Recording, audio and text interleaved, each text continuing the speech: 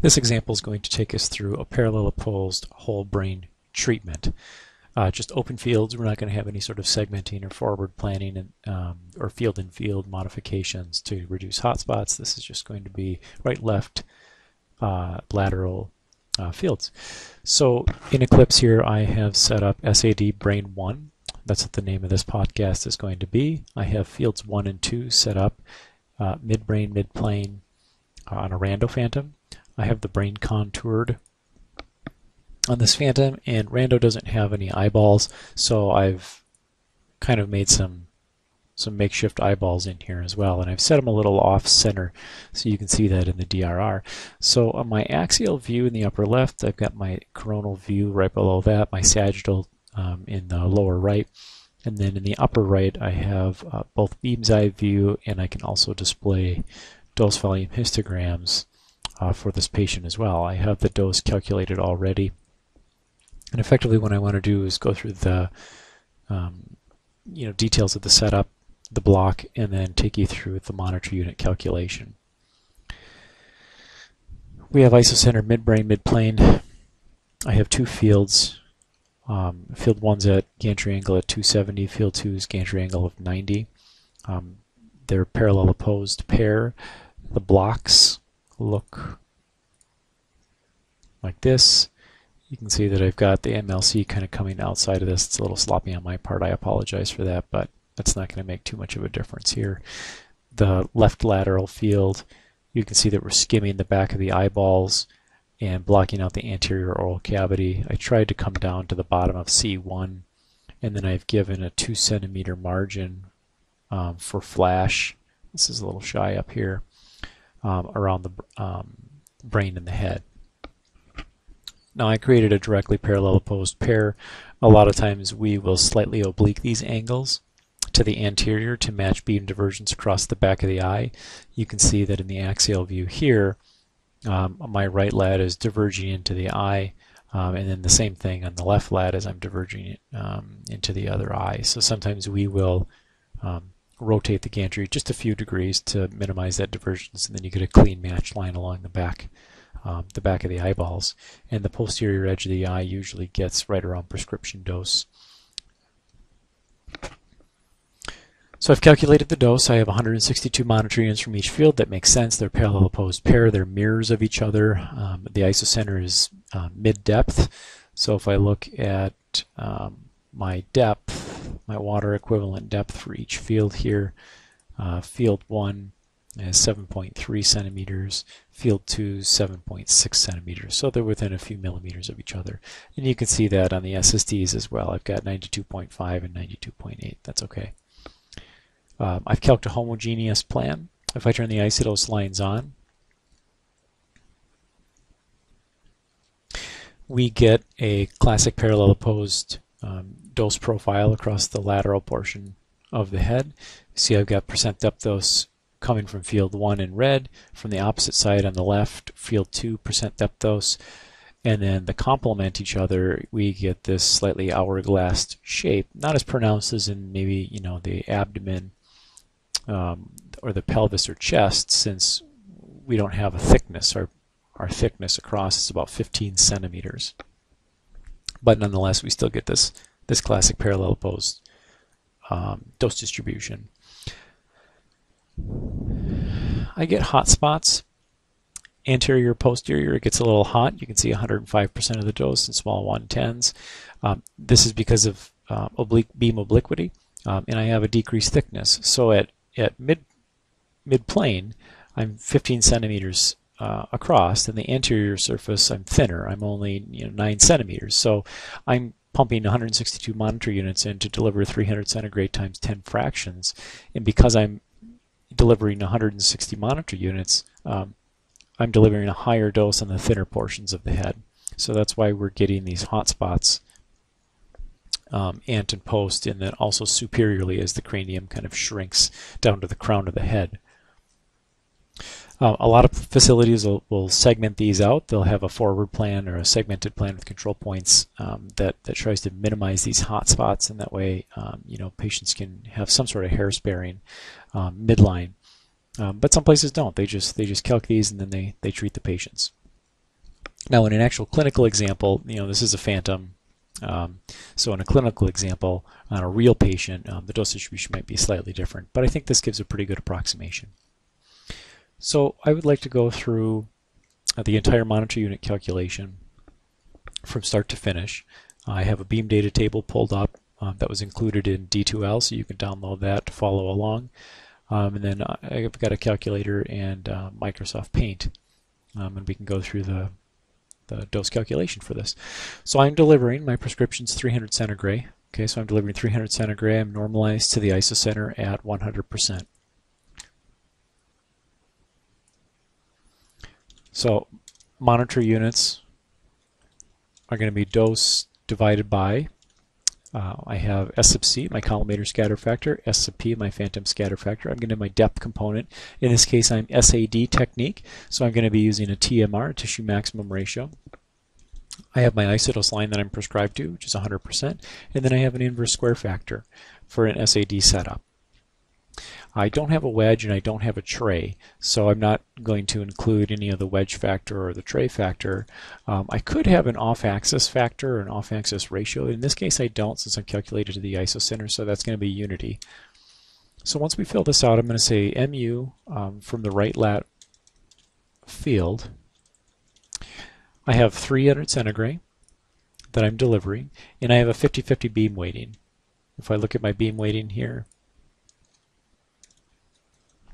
I'm 50% from each field, so each field is delivering 50% of the prescription dose, which is 300 divided by 2. So 300 centigray times 0.5, which is going to be 150 centigray. Now S sub C is going to be defined by the collimator jaws for a Varian machine that has a tertiary MLC. Um, my X jaw is 24 and a half, and my Y jaw is uh, 19. So my equivalent square is going to be 24.5 times 19 times 2 length times width times 2 divided by length plus width. Okay, 24.5 plus 19. So my equivalent square field size for the collimator is going to be 21. So for the sake of brevity in this example, we're just going to say 20 centimeters. So if I pull down my beam data tables and I look at S sub C for a 20 centimeter field size, 1.026. Normally you'd interpolate these values, um, but again I don't want to take time to do that right now. You can you can certainly pause the video and then figure it out on your own and then um, compare your answer to what my answer is, as well as the treatment planning system. SAP. SAP is a little trickier. Um, in Pinnacle, um, the treatment planning system Pinnacle, they give you what the blocked equivalent square is. Uh, they don't give that uh, here, so we have to figure that out manually. So what basically you're trying to figure out is what what's the section of this field size that's providing scatter to my calculation point. That's what the SAP is going to be telling us. So we're going to use the block, what's called the blocked equivalent square for both the phantom scatter factor as well as the tissue maximum ratio lookup. Now for whole brains, it's it's relatively standard. Um, I've seen 14 centimeters used as kind of a standard. Most human adults have a similarly shaped head. Some might be slightly larger, some might be slightly smaller, but on average, most people are 20 centimeters ant to post and 15 centimeters left to right. And that leads to a very uniform size um, or shaped head in our beam's eye view. And what most people use is 14 centimeters. Again, for the sake of you know not taking time to interpolate in this example, I'm going to use 15 centimeters. So normally what you're going to do is you're going to try and figure out how much of this field size is being blocked by the patient's head or that's going to provide scatter. So if I pull my beam data table down here and I look at SAP, sub P, S sub P at 15 centimeters is 1.014.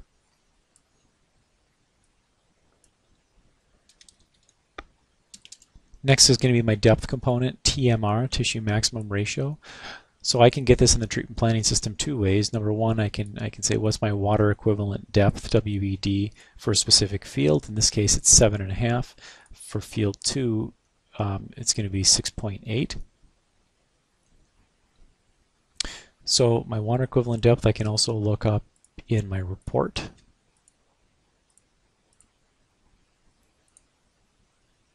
Okay, so my physical depth in the patient is 7.5. My equivalent path length is 7.5. Again, I'm not going to use this, the equivalent path length, because I'm calculated homogeneous. So 7.5 and 7.2. So let's go 7.5 for field 1. So if I pull my data table down, make sure you're on 6x, make sure you're on the TMR, not the percent depth dose. That's listed at the top. 6 MV tissue maximum ratio. So if I go down to 7 and 8, and I come over to 15, I see that for a 15 centimeter field size, again, I'm not using what the x and y jaws are. I'm using what is my blocked equivalent square. It's going to be 0.878 and 0.848, and I'm exactly halfway in between that. So if you weren't halfway in between that, you would have to provide a linear interpolation. So 0.878, 0.848 divided by 2, 863.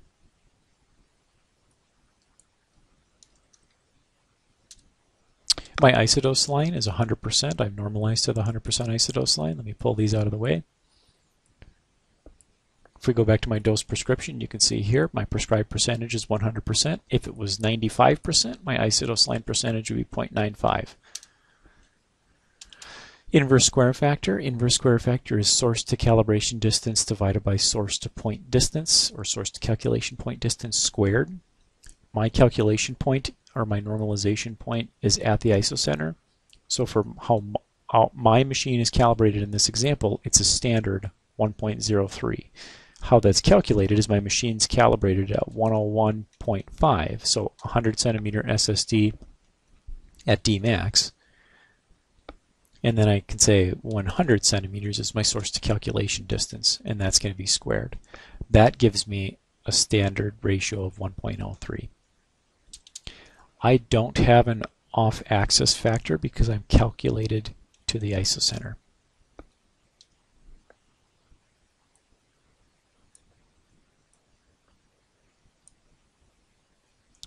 Okay, so 300 divided by 2 is going to be 150. 150 divided by 1.026, 1.014, 0.863, 1.03 is what you get when you take 101.5 divided by 100 squared. And I get 162.2, and we'll just round up to the nearest monitor unit.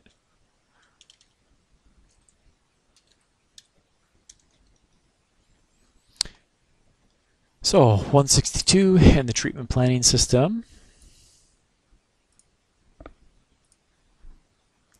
gave me 162. So we hit it right on the head. 0% error on the monitor unit calc.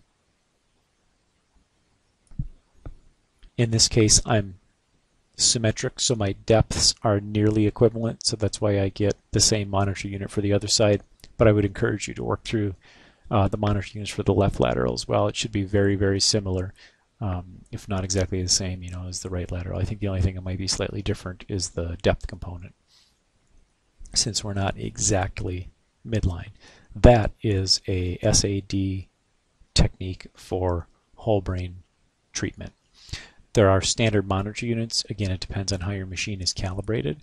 Um, if I were to change the dose to 250, everything in this um, equation stays the same, except my dose to the prescription point changes from 150 centigray to 125. So my new monitor units are just a ratio. I could take 250 divided by 300 times 162 and I get 135. So this is a typical thing that happens where you have a whole brain patient that comes in on the weekend and the physician maybe wants to deliver 400 centigray and one fraction um, or two fractions and then they come on Monday and the doctor wants to change from 400 centigray to 250. So all you would do is you would take 250 divided by 400 times your original monitor units. And then that's how you do um, a quick monitor unit um, renormalization. You don't have to go through the entire calculation that way. So again, SAD brain number one.